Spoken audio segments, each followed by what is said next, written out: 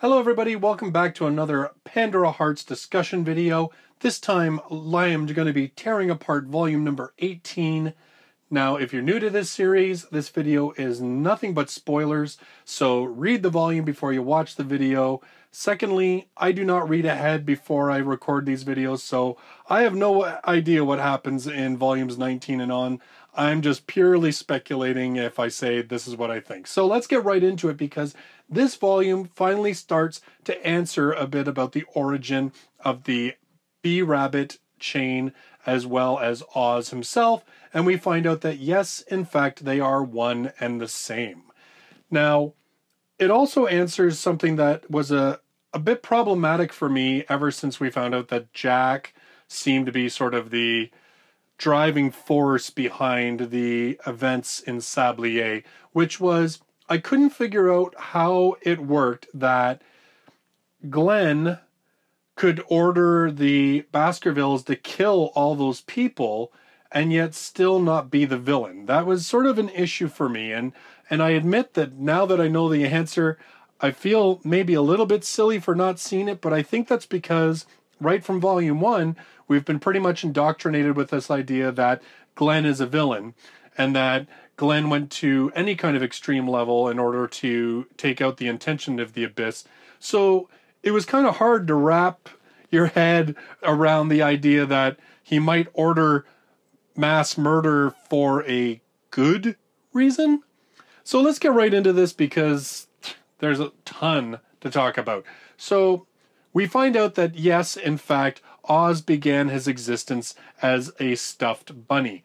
Two stuffed bunnies, if we want to be really precise about this, and they both belonged to Lacey, and they were twins essentially. And Lacey, I, I'm guessing Lacey bought two of the same for this express purpose, but her whole idea was she presented one to the core of the abyss, which was the sort of sentient yet formless uh, you know, center of the abyss, and she kept one for herself. And she basically was like, This is like a symbol of our friendship. And she did this when she was younger. And we already know from sort of earlier volumes that the abyss is able to imbue non living items with a semblance of life, or is able to take a form of life and then change it. So we know this from, say, Cheshire Cat because Cheshire was an honest to goodness kitten who became a more human like chain. And we've seen that certain dolls in the intention of the Abyss's room also have become chains or have been imbued with a form of life. And so it's not really any kind of stretch that this stuffed bunny that sits and exists at the core of the abyss, the very heart of the abyss, would eventually become imbued with a form of consciousness. And because its twin existed in the real world or in the non abyss world, he was able to essentially travel between the two. But I'm guessing that because the stuffed bunny on the other side in the real world had no consciousness of its own, that was why he was able to have a singular consciousness that was able to exist between the two forms. They were both connected, and this is possibly because Lacey did bring her copy of the rabbit into the abyss with her. So I'm kind of wondering if that was sort of the reason that he was able to travel between the two because they were technically both exposed to the energies of the abyss. It's just that the one that resided in the abyss longer term was the one that initially housed the consciousness of Oz. And we then find out that he sort of sleeps when Lacey disappears. And when he wakes, he's first sort of awakens to the sound of crying, and that he gets the sense from the core of the abyss that it's happy. And we know, of course, that these are the two children that belonged to Lacey. And then, as I guess they grew to a certain point. Alice, black haired Alice, is ejected from the abyss and she is sent with one of the rabbits. And then the other one remains in the abyss with the white Alice.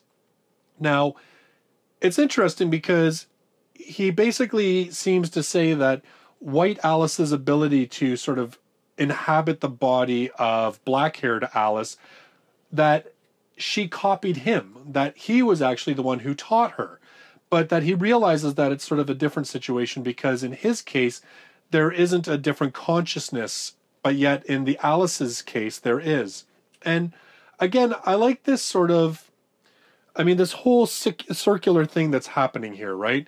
I mean, Jack, in his own way, says that his existence is thanks to Lacey, that he really had no, you know, desire to exist in the world until he met Lacey.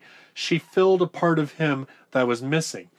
And in this way, we find out that Oz is pretty much the exact same. Oz only exists because of Lacey. Lacey essentially gave him life, helped create his existence. And so then we see Oz split between the two Alices. And it's it's cute because we see a lot of the Alice that is with Oz now in the present. We see a lot of her mannerisms sort of being attributed like the way she's treating this bunny, right? Like she bites his cheek to wake him up.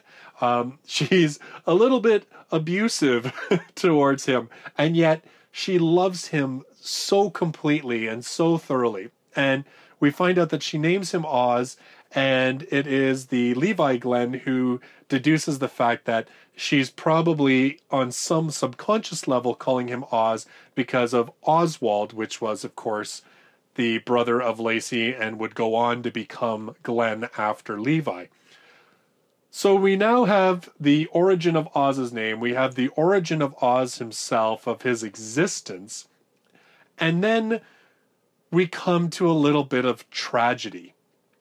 And it's kind of funny how we have this thing occurring again and again that sometimes good intentions, as wonderful as they may seem, can lead to misery. And that is pretty much what happens in this case. And even Oz, it's funny, he even he is sort of aware and saying to himself, is this where I made my mistake?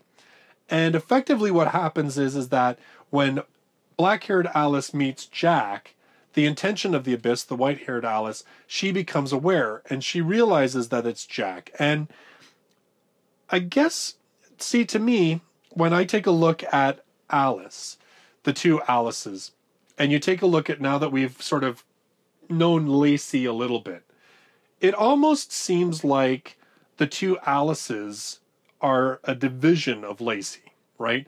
Because we have Lacey who can be the cruel, cold, kind of mean, very opinionated and strong and everything else. We have that in our black haired Alice. But yet, in the white Alice, we have that ability Lacey had to be more demure and to assume her proper place and, you know, be a lady of the court, if you will. And so these, it seems almost that these are divided. And of course, we have now Oz, who is divided between them. And it creates this nice sort of symmetry, right? This idea that she sent Alice, black haired Alice, the intention sent her out of the abyss. And she says, I can't leave the abyss. But I wanted her to experience the outside world, and I kind of wanted to see it for myself and realized that was the only way but she sends her with the rabbit too. And I thought that was I thought that was cool and I almost wondered if I didn't know whether that was the intention of it intention I didn't know whether the intention of it was that she was using that as a way to learn and to create the bridge between the two Alices or whether it was just purely like an emotional thing that she had had this rabbit and it had meant so much to her and so she you know, sent the rabbit out with Alice. But we also know that Alice came out at sort of that early teenage years or what or I'm not sure how old she's supposed to be, but she's drawn that she looks sort of to be I think around 12, 13 maybe. And she aged to that age within the abyss. And so it's completely realistic to think that with the two rabbits being there that it was hers, that it was a playmate for her while she was within the abyss. I'm not too sure. I mean, we really we that's one thing that as much as this is the past arc, we really weren't told a lot about the actual Alice's existence within the abyss and as they grew within the abyss. So we're still left in a little bit of a, a mystery as to that. But again, we have Oz who has this sense of dedication and this wanting to thank Lacey because she gave him life. And so when the intention of the abyss picks up on the existence of Jack, she says to Oz, I rescued this from the darkness. It was the last bit of Lacey that I could rescue, and I want you to give it to Jack. And because it was taken from that darkness, it, it actually starts to destroy Oz's physical form in the real world as he transmits it there. And he's able to sort of get Jack's attention and he passes it on, and it is a memory of Lacey singing and sort of a little piece of her emotion and her feeling that transmits to Jack. And this seems to be the catalyst for Jack determining that he's going to drop the world that Lacey loved so much into the abyss so that she won't be lonely. And again, this seems to be sort of a misconception of Jack's part because even though he says to Oswald, or who's Glenn at that point, says to him, he's sort of come to this realization that Lacey will never come again to this world he still seems to be under this impression that Lacey somehow still exists within the abyss, even though, like I said, the white haired Alice says this is all I could save. So it seems fairly apparent that Lacey is, in fact, completely gone. So we move a little bit further and we find out about sort of the state of the world. And we find out this whole idea of chains is a lot bigger of a concept than what we've been led to believe to this point. I mean, we thought chains were just these creatures that sort of chained you to the abyss and to the power of the abyss. But it turns out that the world itself is sort of held together by chains. The sort of mythical, I can't see it, but it's there all around me, sort of holding the whole world together and keeping the world from dropping into the abyss. Now, I actually found this really interesting. It's just, this is a sidebar, and I sort of I'm sorry if this sounds like I'm tooting my own horn, but I you know wrote some books and my it's this concept to me i was like oh i totally get this and it was this idea that in my books i called this thing the veil which was an existence a space that basically kept realities, kept worlds apart. And that if the veil collapsed, then worlds would collide to each other and destroy them. And this, I'm guessing, is sort of the same idea as what Mochizuki is trying to say here is that the abyss and our physical world are two realities. And even though they are somewhat connected, the simple fact is is that they aren't really supposed to interact. The abyss Jack at one point says that chains travel from the abyss to our world through distortions. And we're even told that the children of ill omen, the red air, the red-eyed children, that they themselves are distortions. The fact that they're able to open a path to the abyss is a distortion caused by their proximity to a Glenn. And so these two realities aren't really supposed to interact with each other. At least that's kind of what I get. Like, I'm still not too sure if the abyss itself is considered to be an afterlife because we know that the abyss has sort of two realities. It has the darkness that has always existed, and then it had this realm of light.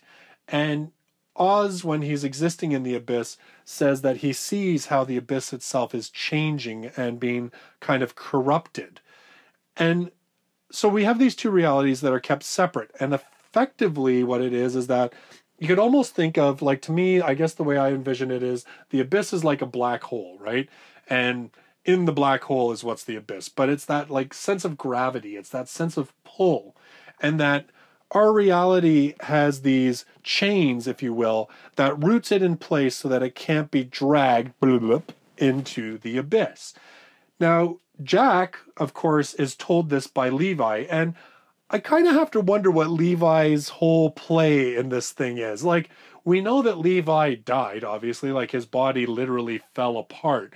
But do you notice, like, he really seems to be playing a lot of chaos? It's almost like, like, if I didn't know better, I'd almost say that Levi was just really bitter and pissed at the fact that he had to become Glenn and that it basically spelled his doom because he really just seems to want to F with the system, you know? Like the whole idea about getting Lacey pregnant so that her child could sort of absorb the abyss and become an actual physical being that they could converse with and have contact with.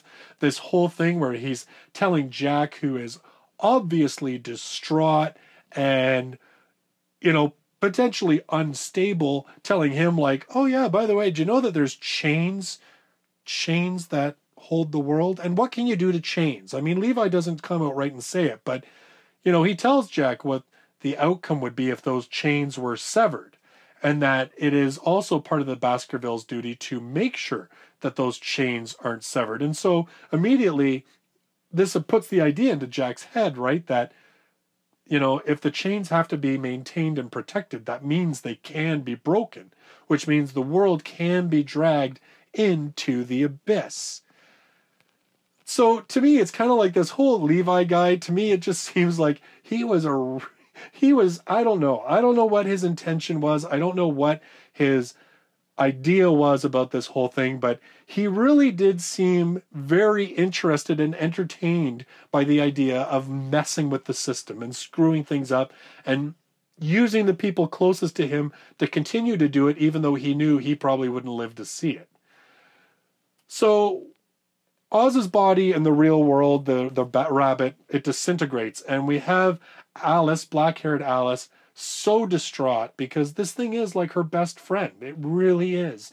And we can see where her dislike of Jack is basically born from this event. Like, I wouldn't say that she only hates Jack for that, but definitely this did not help Jack's case for her whatsoever.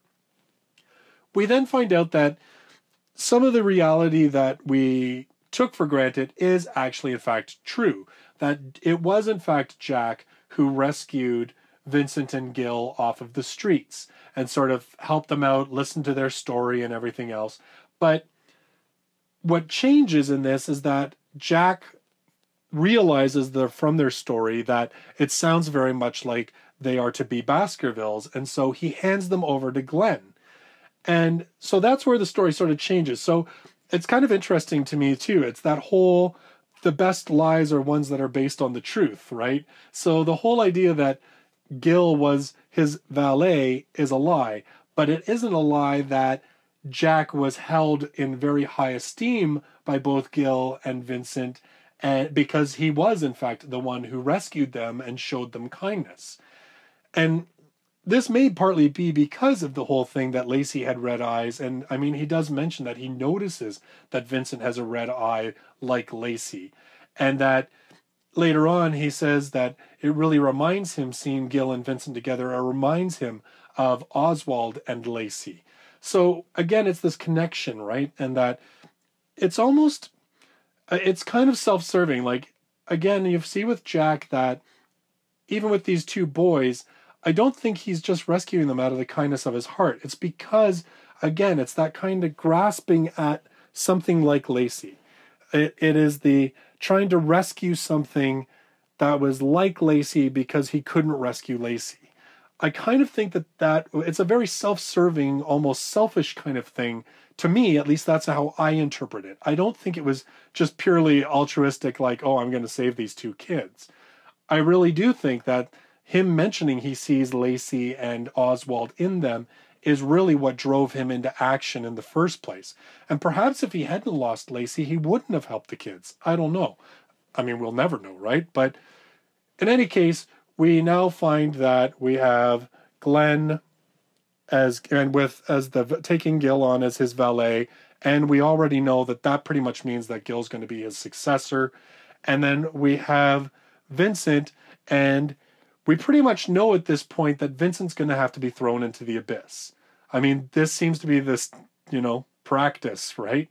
And it got me thinking because we have the old crone in the Baskervilles, and we know that she basically brainwashed Gil into this idea that he has to save his master. He has to protect his master. It doesn't matter who threatens his master, he must destroy them.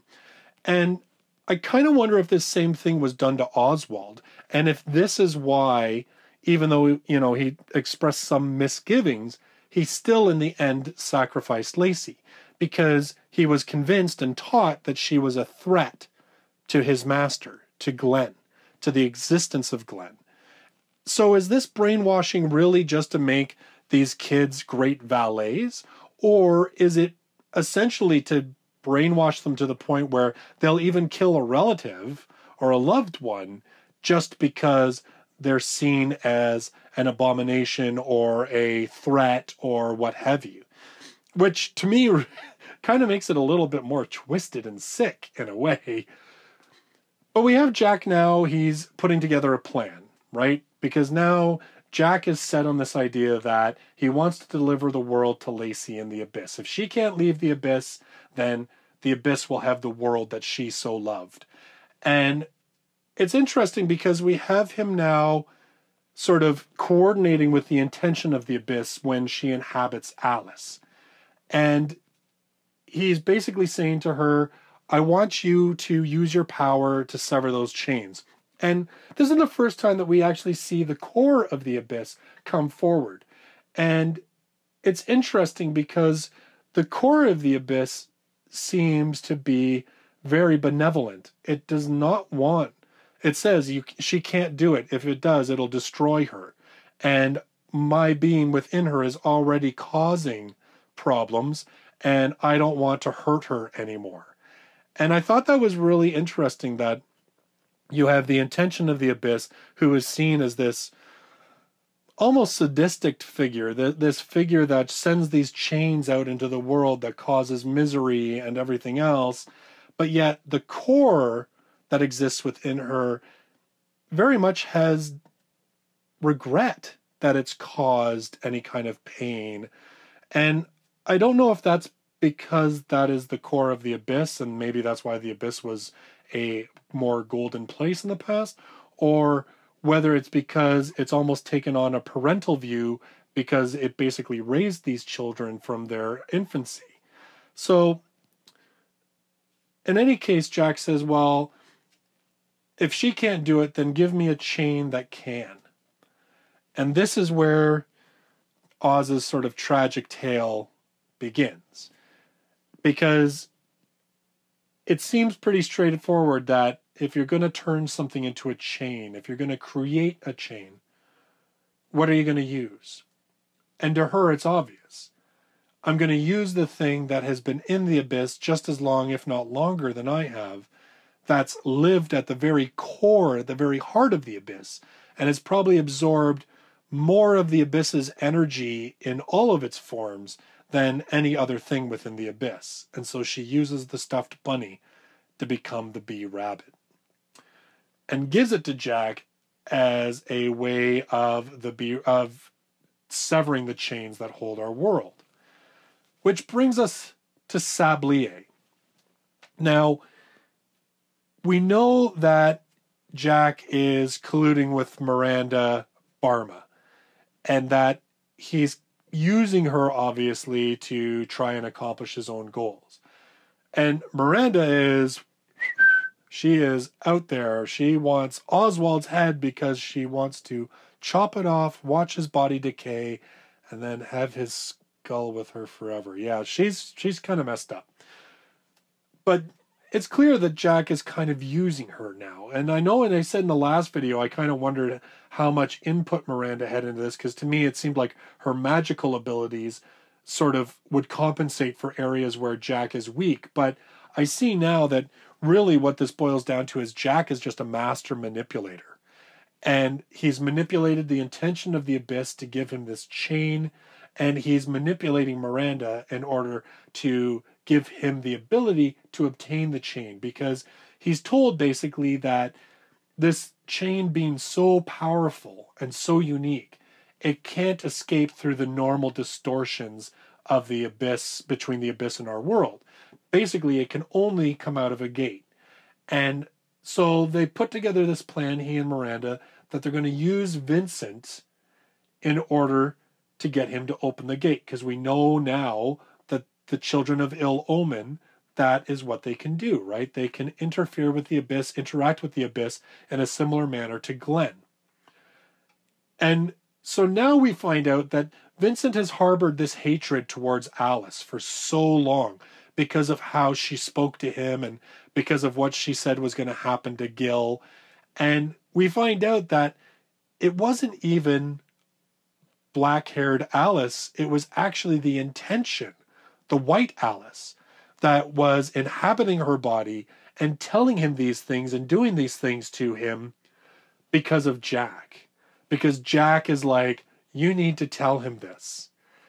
And of course, Vincent would believe her. She's been there the whole time he has, if not longer.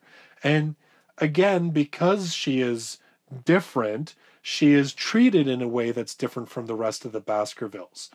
So, again, she is seen as a figure by him that would tell the truth.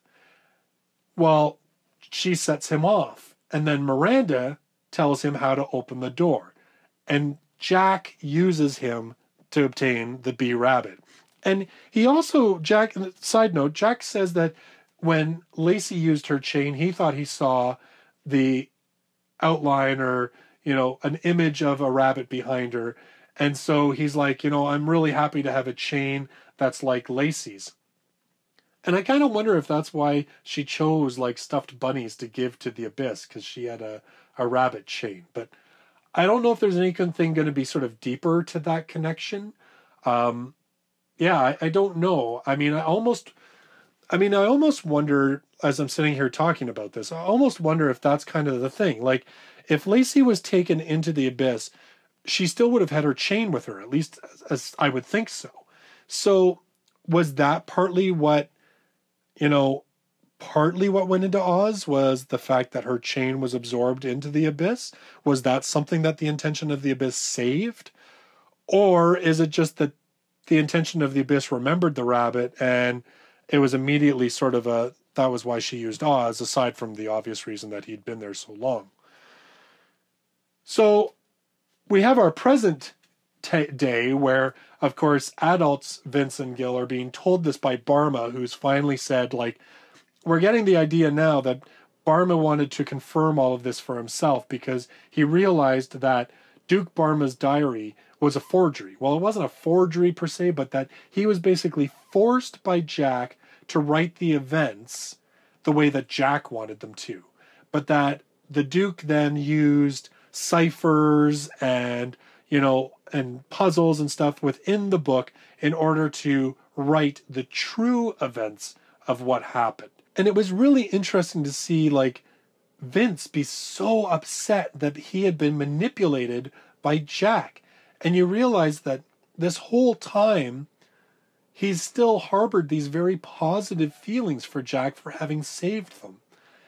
And it's really sad. Like this, you know, this whole like two uh, volumes that we're getting, they're so filled with this sort of tragedy and sacrifices and people feeling like a part of them has been torn away because of who they've lost and their whole identity being questioned because of the actions of another person. And so we finally come to Sablier where now Jack has the B rabbit. And he's chosen this moment because this is where Glenn was going to pass Raven on to Gil. And it was the one time that there wouldn't be Baskerville guards posted at the gate of the abyss. Instead, it was going to be the Nightrays, which here we go. This is where the Nightrays now it figures that they're with the Baskervilles this long, right? So Jack Miranda gives Jack a way to basically knock these guards out, and that's how he gets access. And so that's why he chooses that specific moment. And that's why there's all these people in Sablier because they're there to see this, you know, event, right? The beginning of the next volume in the Baskerville history. And so now, of course, Jack gets the B rabbit and he uses it to sever the world's chains. Now, this is why we finally get an answer to how could Glenn not be a villain and yet order the Baskervilles to murder all those people? The reason being, we find out, is that it's almost like mercy killings, basically. He's like, you know what? There's no way, with the energy that's been released, I can use my chains to basically reinforce the world's chains but I have to drag all of that energy, all of that energy that's threatening to unlo- to loose all the chains around the world. I'm going to pull it into Sablier, and then Sablier itself will be pulled into the abyss. And he says, you know what? We need to kill all of the humans here because if they don't get killed, they'll be dragged into the abyss and either become chains or be lost in the abyss forever. And their cycle of a hundred years, they will never be able to be reborn. And so essentially what he's trying to do is save their immortal souls. And which I, I was like, wow, okay, yeah, I did not I honestly I did not see that coming. And maybe I should have, but you know, at the same time that they I guess the thing is is that so much stuff happens in this series that when they were talking about the whole 100 cycles thing, I think a part of me almost thought that it only applied to Glenn. I I don't I don't know if I quite made the connection that that was just souls in general. But in any case, we have this point now where Glenn is like, we need to save these people's immortal souls. You need to kill them before Sablier is dragged into the abyss. And then we have Glenn facing off against Jack, of course. And we know that Gil is injured, that Jack is the one who cuts him down. And it seems pretty clear that Jack killed Glenn. But the thing that I don't quite understand still is how did they get Glenn's body to create the seals? Now, the only thing I can think of is that Jack dragged Glenn's corpse out of there, but that's not stated either in this. And so obviously he faces off against Glenn, he survives the battle, and he goes to see Alice and he's like, I need the intent. And he starts calling out to the intention to come forward into Alice. And I really, really liked this. Like, okay, I mean, I don't like what ends up happening, but I loved the sadness and the devotion that Alice still has to Oz, where she's like, What did you do to him? He's screaming in pain. And we realize that, you know, Oz really doesn't want to be this destroyer. He doesn't want to hurt people. He is intent he is being used and manipulated by what the intention has done to him and by his contract with Jack. And so Alice is black-haired Alice is like, "No, I'm not going to help you make Oz do anything more." No. And she ends up killing herself to prevent the intention from coming forward to try and do anything about, you know, making Oz repowered or whatever it is to try and overcome Glenn's chains. So she kills herself. I, and I was like, man, to take scissors to your own throat. And like, you can see now where there's that incredible devotion to Oz that she really did love him as a living thing and that we now understand why throughout our previous volumes now whenever she has been so upset or you know frightened by Oz getting stronger and starting to use his powers and all this kind of stuff and why she constantly stops him it's because she knows him and she knows that deep down this isn't who he is or what he wants to be. So then we come back to our modern day because at this point, I mean, there's really not much more to say about Sablier. I mean, obviously, yes, I wonder how did Jack get out? And did he drag Glenn's body out? Because, like I said, clearly they got Glenn's body somehow. So Sablier, of course, then is, we now know, of course, why it dropped into the abyss. So we come out to our modern day, and Jack, of course, is still controlling Oz's body, controlling the powers of the B rabbit, and he breaks the world chains again. he says that he's not as strong, so it will take time. But it's done. It's going to happen. And then we have Gil trying to find Oz because, of course, he's very confused. And Brake goes after him to try and stop him because Brake realizes that if Gil now acknowledges Glenn as his master, that actually Oz is in a hell of a lot of trouble and a lot of danger if Gil comes close to him. And of course, he's proven absolutely right because as soon as Gil arrives, Leo slash Glenn orders Gil to shoot Oz, and he does it without hesitation. And we can see the shock on his face, but it doesn't change the fact that that programming is still there. And I think that I don't judge Gil for this at this point because I think that if Gil had been of his right mind, he may have been able to fight that. But we have to recall like what kind of emotional shock he's now just had. Like, I mean, this isn't just shock, this is like emotional trauma. He is not in his own mind. Like, he is out of his mind almost literally. And so, for him to try and fight that programming, you know, it's it's almost impossible. Which so I don't I don't read this as being weakness in Gil. I don't read this that you know, his relationship with Oz didn't mean much or that he didn't think of highly of Oz as he did Glenn or Leo or what have you. To me, this is just a man who is so damaged he doesn't have the defenses to fight back. So I don't judge Gil harshly for this. But we don't have answers about a few things still. And I mean, now we understand like why Sablier happened. We understand Jack's motivation for making it happen. We now know that Glenn killing those people wasn't a villainous move. In fact, he was trying to save them in his own way, or at least the only way that he possibly could. But the only things that I don't quite understand so Glenn sent his chains to prevent the destruction of the world is that why his chains were still i'm guessing that's why his chains were still in the world when sablier was sucked in like they didn't go with him because he had sent them out right plus he died which would mean the chain would be severed. And he died without having a successor. So i guess this is that probably answers that. Although i find it interesting that they would just revert back to the different doors that the different dukedoms held.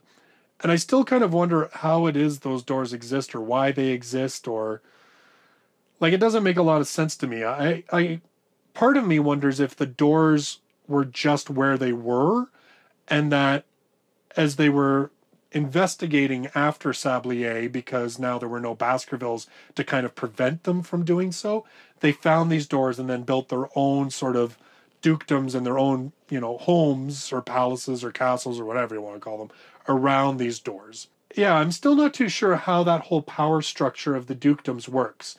I mean, we know that the Nightrays were disgraced, but I think the Nightrays were disgraced because of Jack. Again, this is him rewriting history because now he has this power, right?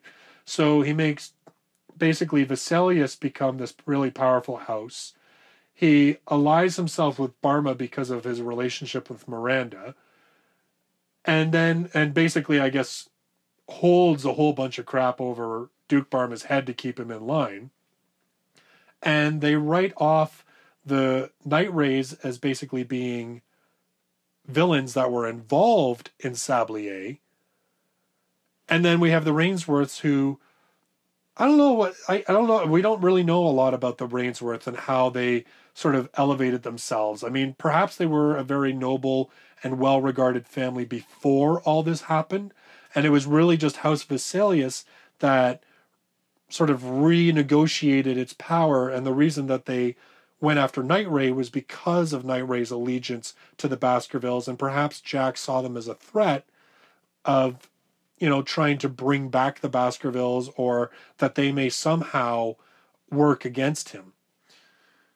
So we still don't know quite all that. We certainly don't know how a black rabbit chain becomes a little baby boy who grows up to be our current Oz. We don't know how that happened. We don't really know what happened to Miranda Barma after all of these events. I'd almost be tempted to say that Jack killed her because because it just doesn't seem to me like Jack leaves a lot of loose ends. I mean, if he's obviously manipulated Duke Barma to leave a document behind that Jack figures will be found that will exonerate Jack and say, yes, he was the hero and everything else, and will cast the Nightrays and the Baskervilles as villains. So, I mean, obviously he's thinking ahead. He is. And we know that he thought ahead because when he delivered that seal to the magician's, you know, predecessors, he told them the bee person who holds the B rabbit's power is the one that you should allow into here, is the one that you should acknowledge for the seal. So he was thinking long game, obviously. And I don't know how exactly he knew that. Like I, I this is where I kind of wonder if maybe Miranda's knowledge, again, he used her for her knowledge. Maybe he and Miranda somehow set something up that Oz would be a vessel that somehow would Jack could sort of piggyback back into reality. I'm not this like I said that that's completely not discussed, and I'm guessing we're going to get there most obviously, but we got to get to the future volumes first. So that's where I'm going to end this video. There was lots to talk about. The you know, still a lot of unanswered questions, but certainly we have a lot firmer understanding of what happened in the past. It's now just the events of the past sort of 15 years or whatever that we're still sketchy on exactly what occurred that brought Oz to become, you know, what he is and everything. Like those are the things that we'll still need to have answered. And we still don't even know black haired Alice, you know, our who thought she was the B rabbit we still don't know sort of how she is. Again, in this volume, she begins to go transparent. And this time she notices it herself because she goes to tackle Oz and goes like right through him. So I still kind of am subscribing to the idea that our Alice, our that we thought was B Rabbit, that she is something that somehow Oz conjured. But again, I'm, really not sure yet. I don't know. I, I'm not sure if maybe somehow she's a chain. Like, can a chain have a chain? I I don't know.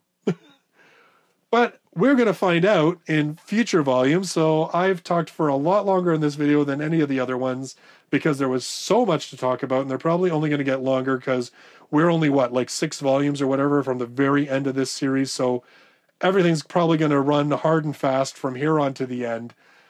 Thank you very much for watching the video. I hope you enjoyed it. If you are new here, don't forget to subscribe so you can watch all of my future Pandora Hearts videos. Plus, I'm going to be doing this same sort of series with a new series once we finish Pandora Hearts. I do other manga reviews as well as light novel reviews. And I don't just read books, I like to write them too. I've got links to those as well. So thanks very much for watching this big honkin' video. I look forward to seeing you in the next one. Until then, bye bye for now.